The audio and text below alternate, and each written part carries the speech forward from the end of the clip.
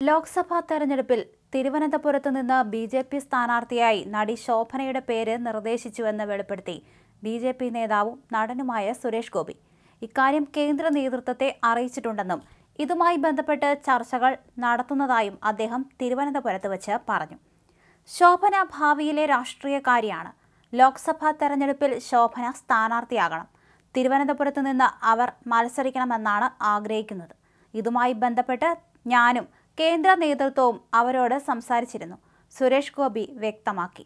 തൃശൂരിൽ മഹിളാ സമ്മേളനത്തിൽ പ്രധാനമന്ത്രിയോടൊപ്പം ശോഭന പങ്കെടുത്തത് വലിയ ചർച്ചയായിരുന്നു. വനിതാ സംവരണ ബില്ല് പാസാക്കിയ മികച്ച നേതൃത്വത്തിന് നന്ദി പറഞ്ഞ ശോഭന മോദിയുടെ നേതൃത്വത്തെ പ്രതീക്ഷയോടെ കാണുന്നുവെന്നും പറഞ്ഞിരുന്നു. ഇത്രയധികം സ്ത്രീകളെ ഒരുമിച്ച് കാണുന്നത് ഇതാദ്യമായിട്ടാണെന്നും അവർ പറഞ്ഞിരുന്നു. ഒരു ആരാധികയുടെ ജീവിതത്തിലെ വലിയ നിമിഷമായിരുന്നുവെന്ന് ഇതേക്കുറിച്ച് പിന്നീട് ശോഭന ഫേസ്ബുക്കിൽ കുറിപ്പ് പങ്കുവയ്ക്കുകയും ചെയ്തിരുന്നു. മോദിയുടെ നേതൃത്വത്തിൽ വനിതാ സംവരണ ബില്ല് പാസാക്കിയത് ഒട്ടേറെ സ്വപ്നങ്ങൾ യാഥാർത്ഥ്യമാക്കുമെന്നും ജനുവരി മൂന്നിന് നടന്ന സമ്മേളനത്തിൽ അവർ പ്രസംഗിച്ചു. ചടങ്ങിൽ പങ്കെടുക്കാനെത്തുന്നതിന്റെ ചിത്രം ഹ്യൂജ് ഫാൻ മൊമെന്റ് എന്ന തലക്കെട്ടോടെ സമൂഹമാധ്യമത്തിൽ അവർ പങ്കുവയ്ക്കുകയും ചെയ്തു.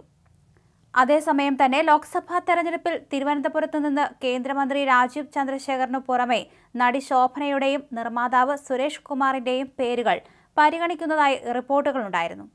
പ്രധാനമന്ത്രി നരേന്ദ്രമോദി പങ്കെടുത്ത തൃശൂരിലെ ബി ജെ പി വനിതാ സമ്മേളനത്തിന് എത്തിയതോടെയാണ് നടി ശോഭന ബി ജെ പിയിലേക്കെന്ന് അഭ്യൂഹമുയർന്നത് അതേസമയം നടി ശോഭന ലോക്സഭാ തെരഞ്ഞെടുപ്പിൽ തിരുവനന്തപുരത്ത് നിന്ന് മത്സരിക്കില്ലെന്ന് ശശി തരൂർ എം ശോഭന അടുത്ത സുഹൃത്താണെന്നും തിരുവനന്തപുരത്ത് ശോഭന മത്സരിക്കില്ലെന്ന് ഫോണിലൂടെ തന്നെ അറിയിച്ചെന്നും ശശി തരൂർ പറഞ്ഞു.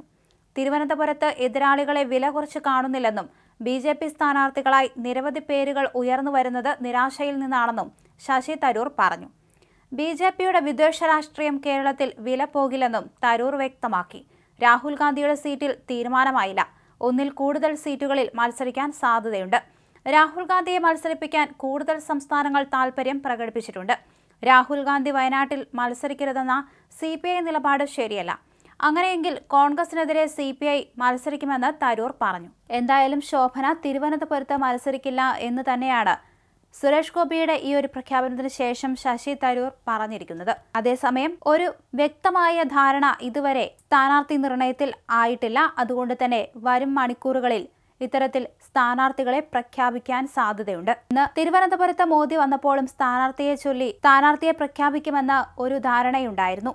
എന്നാൽ ഇനിയുള്ള ദിവസങ്ങളിലായിരിക്കും സ്ഥാനാർത്ഥി നിർണയം തിരുവനന്തപുരത്ത് നടക്കുക.